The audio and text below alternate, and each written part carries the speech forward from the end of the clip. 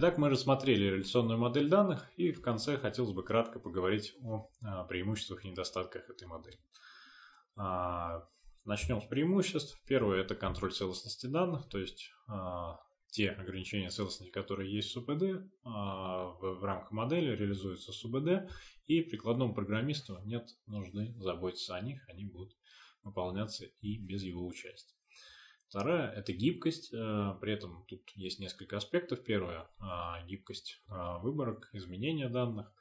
А здесь речь идет о том, что мы легко можем с помощью языка запросов манипулировать, получать и манипулировать данными, выбирать данные из разных таблиц, разных источников, объединять их, пересекать, накладывать ограничения на результаты, выполнять функции над результатами, которые есть в СУБД.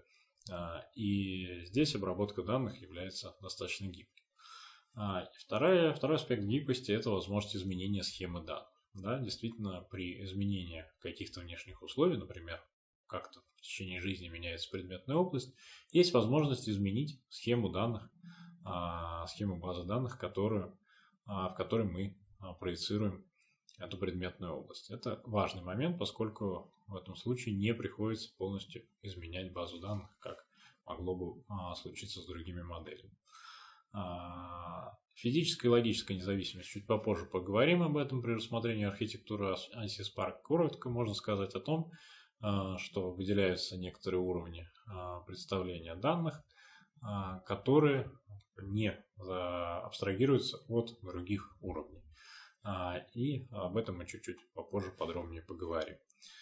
Что касается разработки прикладных программ, а, тут все тоже достаточно интересно, потому что разработчикам а, выборки, которые позволяют получать, получать из базы данных с помощью запросов, обычно представляются, видимо, в привычных понятиях, то есть это некоторые массивы, массивы например, словарей, некие query-сеты, которые могут быть использованы с помощью стандартных а, механизмов коллекции, обработаны а, привычным способом во многих языках программирования. Но здесь не все так просто и однозначно, и об этом мы чуть-чуть попозже тоже расскажем. Ну, безусловным преимуществом является то, что основа реляционной модели данных, с одной стороны, простой и понятный набор абстракций, с другой стороны, мощный математический аппарат а, на базе теории множеств.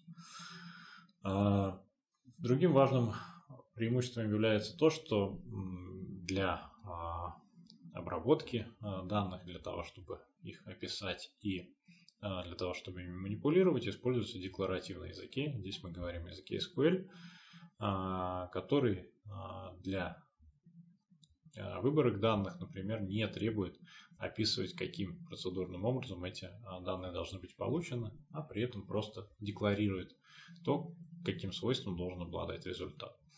А, это довольно важно с точки зрения а, работы с данными на уровне а, базы данных и является, безусловно, важным преимуществом. И еще одной частью, которая не напрямую не относится к реляционной модели, но тем не менее так или иначе реализовано в большинстве а, SQL баз данных, а, SQL SUBD, это средство разграничения доступа. А, то есть в большинстве СУБД есть некоторые механизмы, которые позволяют разработчику или администратору базы данных обеспечивать определенную безопасность, используя встроенные механизмы. А, такие как создание определенных ролей пользователей и назначение им прав на выполнение определенных операций. Соответственно, этот механизм позволяет а, более безопасно работать с данными, хранящимися а, в SQL базе данных. Теперь, что касается недостатков. Ну, первый и, наверное, главный на сегодняшний день недостаток – это производительность. Можно здесь, так сказать, поставить слэш-масштабируемость. А, говоря о горизонтальной масштабируемости. Да, действительно, а, хранение данных в виде таблиц и а, связь их по внешним ключам делает быстрые выборки больших объемов данных довольно сложными.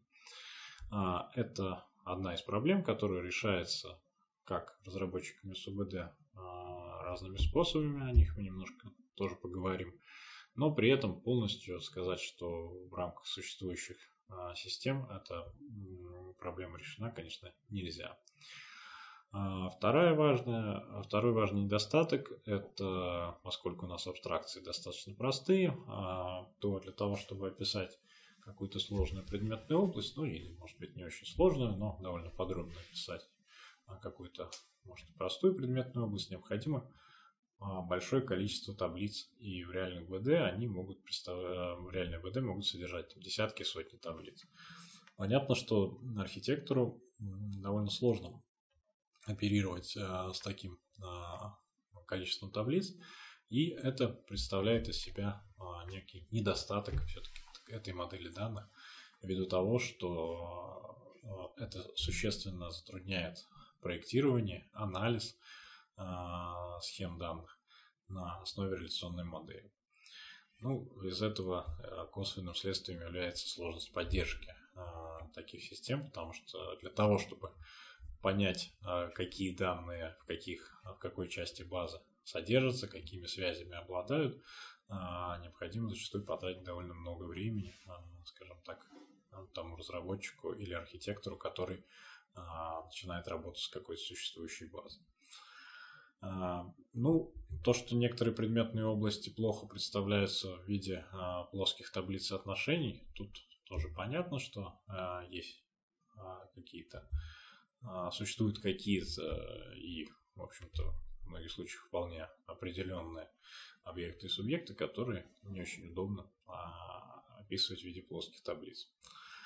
Разработка прикладных программ. Здесь вот мы возвращаемся, казалось бы, а, этот момент указан в достоинствах и недостатках. Что касается недостатков, здесь есть некоторые сложности в том, что, например, работа в а, объектно-ориентированных языках а, или других языках с а, базой данных не всегда удобно и привычно программисту. В частности, если мы говорим об объектно-ориентированных языках, где программист оперирует понятием класс, объект и так далее, то, что данные хранятся в СУБД, в реляционной модели, в SQL базе данных, не совсем идет в однозначное, а, не совсем имеется однозначное соответствие между формализмом и объектно-ориентированных языков. Эта задача решается с помощью специального механизма, о котором мы тоже дальше поговорим, но тем не менее решение этой задачи а, также требует усилий и даже будучи частично или полностью решенных с помощью специальных средств, а, эта ситуация да, и эта проблема решается в виде а, минусов в производительности систем, которые используют такие средства, как OR. И, а, наверное, еще одним недостатком можно, можно назвать а, сложности с тем, о том, о чем мы говорили, это масштабирование, репликация. Дело в том, что большинство баз данных, SQL баз данных закладывались их основа в, то, в те моменты, когда не предполагалось о необходимости хранения таких больших объемов информации, которые а, предъявляются, а, требования к хранению которых предъявляются на сегодняшний день. А, и объективно э, хранение этих, таких объемов информации невозможно в рамках а, одной а, какой-то вычислительной машины. Это во-первых. Во-вторых, э, производительность э, не всегда может легко быть а, увеличена путем вертикального масштабирования, увеличением ресурсов какой-то машины, потому что этому тоже на сегодняшний день есть предел. А, поэтому большинство СУБД должны так или иначе а, решать задачу репликации и горизонтального масштабирования данных и обеспечения а, наших правил, наших ограничений целостности, которые лежат в основе реляционной модели. А, подробно мы об этом, наверное, в рамках этого курса говорить не будем, все-таки это не, то, не та часть, которую можно назвать введение в базы данных. Но, тем не менее, надо понимать, что для реляционной модели данных, для SQL баз данных, а, проблема репликации и проблема горизонтальной масштабируемости является одной из важных. Итак, мы познакомились с реляционной моделью, поговорили о том, что лежит в ее основе, о достоинствах, недостатках, описали все ее части. И теперь мы можем немножко поговорить об архитектуре а, систем на базе реляционной модели. И а, переходим мы к рассмотрению архитектуры ANSYS Spark. Это некий подход к построению СУБД не только на основе реляционной модели, но и на основе других моделей данных, но который требует выполнения определенных условий.